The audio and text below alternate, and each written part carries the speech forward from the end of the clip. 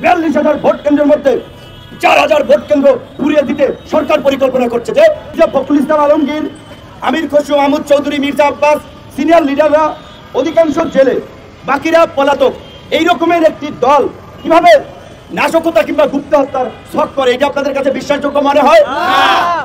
তাহলে ওবায়দুল কাদের আওয়ামী লীগের সাধারণ সম্পাদক সরকারের দ্বিতীয় সর্বোচ্চ ব্যক্তি হঠাৎ করে কেন গুপ্ত হত্যা আইজিপি কেন নাশকতার কথা বলছে? কারণ চোরের মনে পুলিশ পুলিশ, তারা নাশকতার প্ল্যান নিয়ে আগাচ্ছে। তারা গুপ্ত হত্যার প্ল্যান নিয়ে আগাচ্ছে, ওবায়দুল কাদের গুপ্ত হত্যার প্ল্যান করেছে। কাজেই জনগণকে সতর্ক থাকতে হবে। পুলিশের এজেন্সি গোয়েন্দা সংস্থার এজেন্সি বোমাবাজি করার জন্য, নাশকতা করার জন্য তারা পরিকল্পনা করছে। আপনাদেরকে সতর্ক থাকতে হবে। নিজেকে বাঁচতে হবে, দেশকে বাঁচাতে হবে। তাই আপনাদের সামনে এই কথাগুলো বলা আপনারা জনগণের কাছে এই কথাগুলো তুলে ধরেন।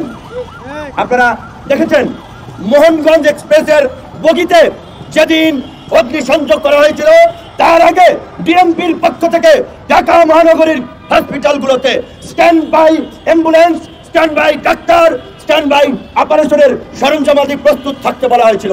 কেন বিশেষভাবে এই ঘটনার আগে হসপিটালগুলোতে চিঠি দেওয়া হয়েছিল। আপনাদের মনে জাগে না? কারণ তাদের ভয়াবহ পরিকল্পনা ছিল লাশ ফেলে দেওয়া, মানুষকে পুড়িয়ে মারা, পৈশাচিক উল্লাস করা। কিন্তু আল্লাহর রহমত, তাদের সেই আশা পূর্ণ হয় নাই। কারণ তারা চেয়েছিল জনগণের উপরে বিভৎস হামলা, বর্বরতা চালিয়ে বিরোধী দলের বিরুদ্ধে জনগণকে লেলিয়ে দেওয়া, কিন্তু জনগণ তাদের বিরুদ্ধে লেলিয়ে রয়েছে। আপনাদেরকে সতর্ক থাকতে হবে। এই ধরনের প্ল্যান নাশকতা চলছে। বিরোধী দলের নেতা কর্মীদের চলাফেরায় সতর্ক থাকতে হবে। নিজেদের সেফটি সিকিউরিটি নিশ্চিত করতে হবে। পথচারী ভাই বোনদেরকে বলব যারা বাসে চলছেন জানালা খোলা রাখবেন চোখ কান সামনের পিছনে সব জায়গায় রাখবেন। কে বাসে ব্যাগে করে গান পাউডার নিয়ে ওঠে কে ককটেল নিয়ে ওঠে এমনকি আইন শৃঙ্খলা বাহিনীর পরিচয়ে যদি তারাও গাড়িতে চেক করতে দেয় খেয়াল রাখবেন আপনার সিটের নিচে একটা ককটেল বোমা ফেলাই গেছে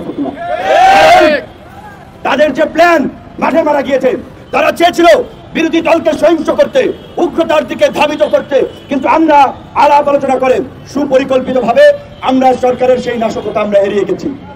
আপনারা, আমরা যদি এই কয়েকদিন হরতাল অবরোধ করতাম, অন্তত কয়েক হাজার গাড়ি সরকারি দলের এজেন্সিরা পুরাতো, পুড়িয়ে মামলা দিত আমার বিরুদ্ধে, আমাদের বিরুদ্ধে, বিএনপি নেতাদের বিরুদ্ধে, জামাতের বিরুদ্ধে, আন্দোলনকারীদের বিরুদ্ধে। কাজেই আমরা যে শান্তিপূর্ণ আন্দোলন করছি জনগণকে সচেতন করার জন্য আমরা নিরস্ত্র, আমরা লিফলেট বিতরণ করছি, আমরা গণসংযোগ করছি পথসভা করছি, আমরা কোনো সহিংসতার মধ্যে নাই।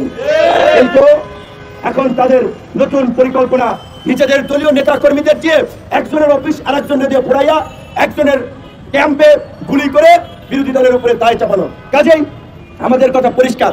সরকারের ফাঁদে পা দিয়ে আমরা এই আন্দোলনকে নেতিবাচক ভাবে প্রচারের সুযোগ দেব না। আমাদের সাথে জনগণ আছে। সেটা তো প্রমাণিত। জনগণকে যদি রাস্তায় নামতে দেওয়া হয় জনগণ যেদিন রাস্তায় নামতে পারবে সেদিন গণ অভ্যুত্থান হবে। ওই গণ অভ্যুত্থানের জোরে ওবায়দুল কাদেররা তাদেরকে খুঁজে পাওয়া যাবে না। কাজে আমাদেরকে ধৈর্য ধরতে হবে। রাজপথের ধারাবাহিক সংগ্রামের মধ্যে দিয়ে জনগণকে নিয়ে আমরা গণ অভ্যুত্থান ঘটাবো সরকার যে ভারতীয় মদতে এক দরবার দামি নির্বাচনের আয়োজন করেছে।